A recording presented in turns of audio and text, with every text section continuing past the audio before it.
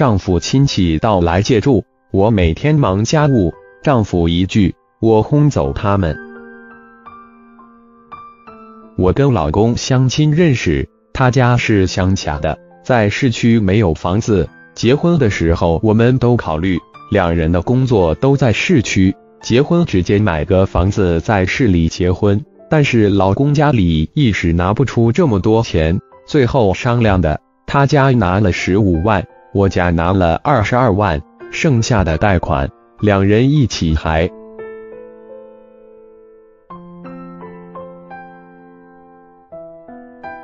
结婚刚两个月，我家突然就变成了他家亲戚的宾馆。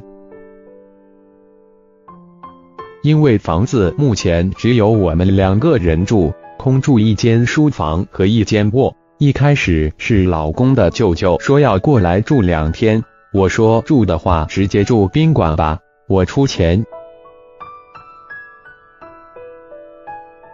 毕竟家里来人，对于我来说是很不方便的。我要准备床单被子，等他们走了还得再洗一遍。老公下班晚，我还要负责做饭。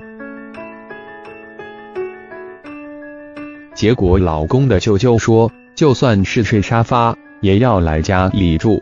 没办法，就让他来家里住了三天。这三天我真的是好吃好喝的伺候他。舅舅生活习惯跟我的不一样，有东西不扔垃圾桶，直接往地上一扔，导致我一天光扫地拖的就要好几遍。在卧室里吸烟，等我去收拾的时候，床头柜还有地下都是烟灰。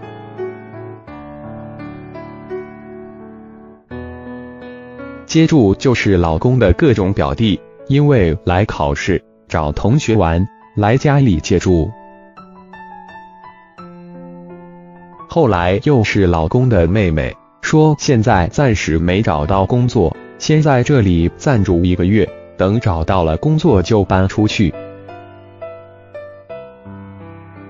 结果老公的妹妹每天躺在家里玩游戏、吃零食、找朋友玩。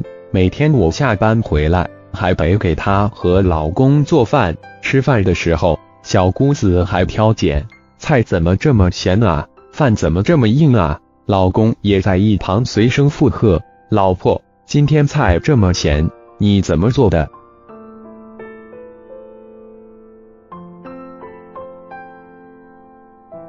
我想，小姑子就住一个月，我就不跟她计较了。没想到她住了一个月之后，不想去工作了，说想考研，准备在家里再住个大半年。老公根本就没跟我商量，直接就同意了。平时如果我打扫卫生声音大，或者看电视笑起来，小姑子都会不满，能不能安静一点？我在看书。我跟老公说了我的不满，老公说：“你连我家里人都包容不了，怎么当我老婆？你想让我妹妹走，我也不在家里待了。”我说：“好啊，你跟你妹妹一起回家吧。”